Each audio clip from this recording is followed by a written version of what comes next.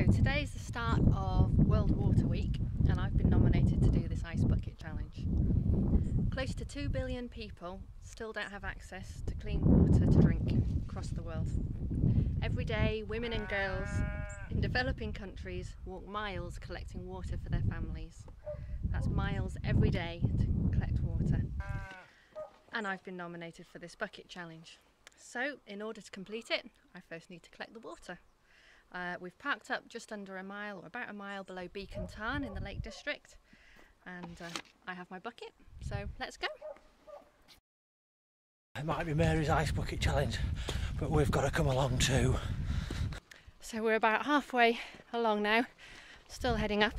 A friend has just messaged me to tell me that it's 80 metres ascent, 1.25 kilometres. Last few steps.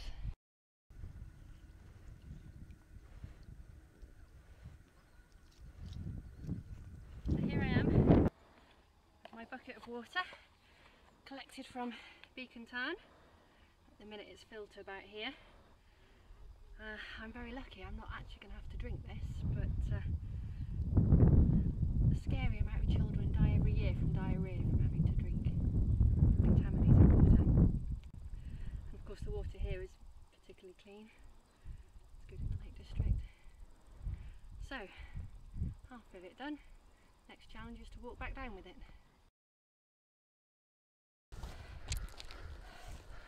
I'm aware that every drop I spill, for me it doesn't matter, but for someone else, having to carry this home for their day's supply, that's not good. I've only walked about 100, 150 yards. My shoulders are already aching. So, on we go. Let's try it on the head.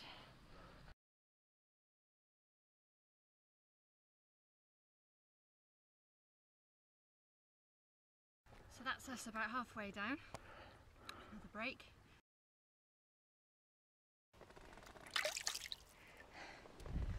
Thank you. If I, if I try and take the weight of it against my body as I carry it, all splashes out. So in a bucket like this, all I can do is kind of hold it out in front of me. I don't have the knowledge or the know-how to properly carry it on my head. I don't have the neck strength to carry it on my head. So all I can do is kind of take a lot of rest breaks and hold it out in front of me as I go along.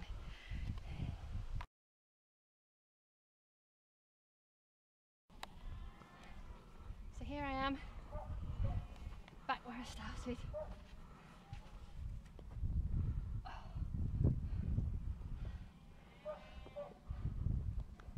My hands are a bit shaky from the weight. I now have this much left in my bucket. I'm not going to be a spoil sport. I am going to complete my challenge because I'm lucky and I don't need this water to cook with, to wash with, to drink. And having gotten it from the tarn at the top, I'll return it now down to the land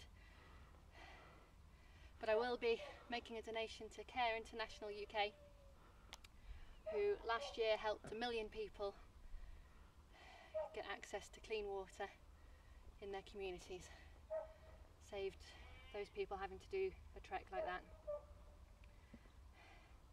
So I've kind of walked a mile of someone else's life but I've been lucky because I can do it in my own shoes. My back is killing me but actually I'm going to probably quite relish this next bit because I'm hot and sticky. So thanks Jim for the nomination. Here goes. If I've got the strength to put it over my head. There's someone over there watching as well.